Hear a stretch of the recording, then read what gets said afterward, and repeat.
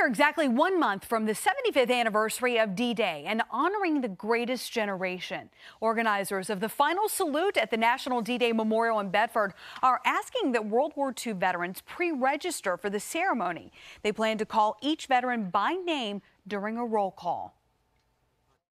Having a ceremony on this scale for these guys, many of them, it'll be the last time they're able to come out for an event like this it means a whole lot. It gives them a chance to really feel the honor and respect that they're due, especially for everything they did in World War II.